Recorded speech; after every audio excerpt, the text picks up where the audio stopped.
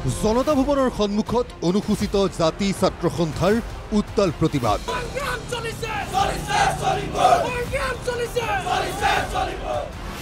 ন্যায্য প্ৰাপ্তিৰ দাবীৰে অৰ্ধ উলংগ প্ৰতিবাদ সংগঠনটোৰ।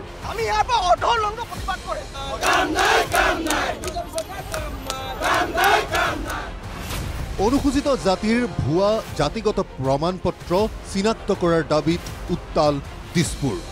ভুৱা জাতিগত প্ৰমাণ পত্ৰই বিপদ মাতিছে অনুসূচিত জাতিলৈ। গৃহ বিভাগক ভুৱা জাতিগত প্ৰমাণ পত্ৰৰ চিনাক্তকৰণ কৰি উচিত শাস্তি প্ৰদানৰ ব্যৱস্থা গ্ৰহণ কৰাৰ দাবী সংগঠনটোৰ। এই চৰকাৰখনে আমাৰ দাবীবিলাক আমাৰ যিবিলাক সমস্যা আছে এই সমস্যাসমূহৰ বুজ ল'বলৈ আচলতে আচলতে চেষ্টা নকৰে। আৰু সেইকাৰণে আমি ক'ব খুজিছোঁ যে এই চৰকাৰখন অনুসূচিত জাতিৰ বিৰুদ্ধ চৰকাৰ। আমাৰ যিবোৰ অধিকাৰ আছে সামাজিক অধিকাৰ ৰাজনৈতিক অধিকাৰ অৰ্থনৈতিক অধিকাৰ সকলোবোৰ কাঢ়ি লৈ গৈছে। আৰু আজি আমাক দিছপুৰ গ্ৰাহক কাৰ্যসূচী কৰাত বাধা কৰিছে আমি উলংঘ প্ৰতিবাদ কৰিছোঁ অৰ্ধ উলংঘ প্ৰতিবাদ কৰি এই প্ৰতিবাদ সাব্যস্ত কৰিছোঁ। হিমন্ত বিশ্ব শৰ্মাক শক্তি দিব খুজিছোঁ। অনুসূচিত জাতিৰ অৰ্থনৈতিক সামাজিক আৰু ৰাজনৈতিক অধিকাৰ সুৰক্ষাৰ স্বাৰ্থত সোমবাৰে দিছপুৰ ঘেৰাও কাৰ্যসূচী ৰূপায়ণ কৰে সদৌ অসম অনুসূচিত জাতি ছাত্ৰ সন্থাই কেইবাটাও দাবীৰে চৰকাৰৰ বিৰুদ্ধে সৰব হয় সংগঠনটো।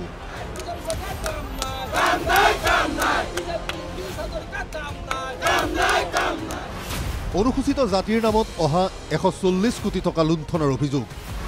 এই অভিযোগ অনুসূচিত জাতি কল্যাণ সঞ্চালিকাৰ বিৰুদ্ধে। স্পষ্ট। অসমৰ মুখ্যমন্ত্ৰী ডক্টৰ হিমন্ত বিশ্ব শৰ্মা আৰু পীযুষ হাজৰিকা ডাঙৰীয়াই অনুসূচিত জাতিৰ ৰাইজক শোষণ কৰিছে। ইয়াৰ বিৰুদ্ধে আমি প্ৰতিবাদী কাৰ্যসূচী হাতত লৈছোঁ। এটা কথা স্পষ্ট কৰি দিব বিচাৰিছোঁ। অসম অনুসূচিত জাতি কল্যাণ সঞ্চালকালয়ত এশ চল্লিছ কোটি টকা লুণ্ঠন হৈছে। এই লুণ্ঠন তদন্ত কৰিবৰ কাৰণে আমি দাবী উত্থাপন কৰিছোঁ। অনুসূচিত জাতিৰ আঁচনিসমূহৰ সফল ৰূপায়ণ ভূমি আৰু পট্টা প্ৰদান অনুসূচিত জাতিৰ বেকলগ পদসমূহ পূৰণ কৰাৰ দাবীৰে সংগঠনটোৱে হাতত ল'লে দিছপুৰ ঘেৰাও কাৰ্যসূচী। ইয়াৰ উপৰিও অনুসূচিত জাতিৰ আন এলানি সমস্যাৰ সমাধানৰ দাবীৰে মুখ্যমন্ত্ৰীলৈ প্ৰেৰণ কৰে স্মাৰক পত্ৰ।